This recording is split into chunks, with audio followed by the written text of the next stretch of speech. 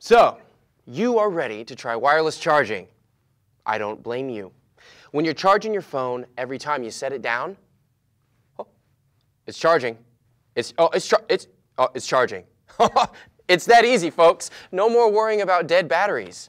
Before you pull out your debit card for a new wireless charger, there's some things you should know, like, is your phone even capable? Most phones come out of the box these days wireless ready, but not all. If yours isn't, you can get a simple adapter.